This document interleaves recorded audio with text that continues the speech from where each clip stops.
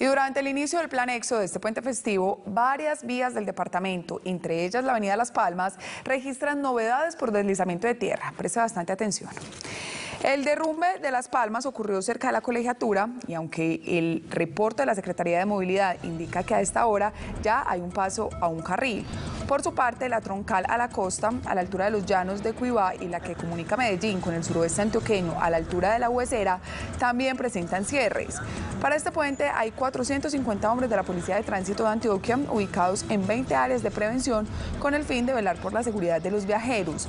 Hasta el momento se ha reportado un siniestro en la que una persona perdió la vida y otra resultó lesionada.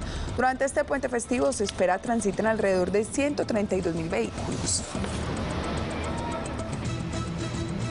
Verifiquemos nuestro estado anímico y de la misma forma el estado técnico-mecánico de nuestro vehículo. Si hay épocas de lluvia, es importante revisar los sistemas de frenos, de luces, de limpiavisas de nuestros vehículos para no estar bajo ningún riesgo.